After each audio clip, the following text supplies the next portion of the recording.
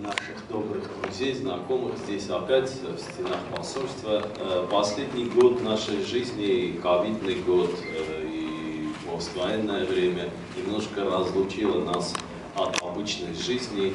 Э, приходилось и нам, в том числе и сотрудникам посольства, придерживаться каким-то нормам эпидемиологии.